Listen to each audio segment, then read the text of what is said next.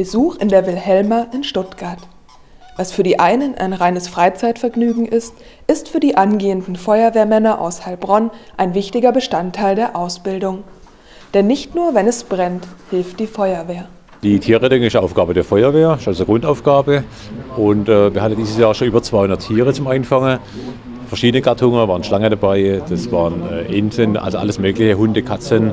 Und wenn exotische Tiere kommen, wollen wir vorbereitet sein. Deswegen müssen die Leute hier die Ausbildung machen oder dürfen die Ausbildung hier machen. Wir sind ganz glücklich, ganz glücklich drüber. Und äh, dass wir wissen, wie man die Tiere anfasst, ohne sie zu verletzen. Zur Vorbereitung gehört auch eine kleine Einführung, mit welchem Gerät man welches Tier am besten einfängt. In der Wilhelma stehen dafür mehrere Kescher in verschiedenen Größen und Blasrohre, mit denen ein Tier notfalls betäubt werden kann, zur Verfügung. Nur das Gewehr bleibt im Schrank. Eine Grundregel schärft der Tierarzt den Feuerwehrmännern ein. Das Erste ist, dass man Respekt haben muss vor dem Tier. Man darf die Situation nicht unterschätzen, man darf keine Angst haben vor dem Tier. Man muss aber den nötigen Respekt zeigen und auch den nötigen Abstand wahren. Man muss erstmal die Situation klären, um was handelt es sich eigentlich.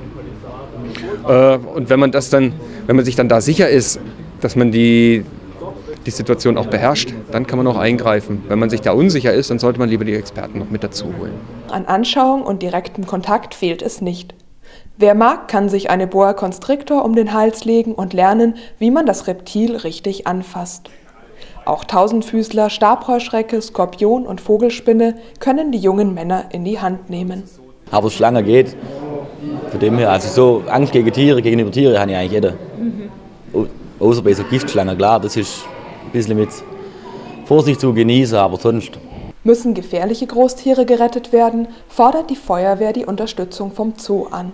Umgekehrt ist dies auch gelegentlich der Fall.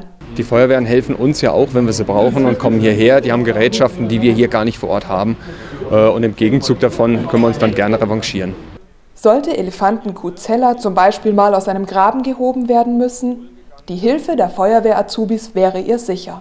Freundschaft haben sie mit der alten Dame bereits geschlossen.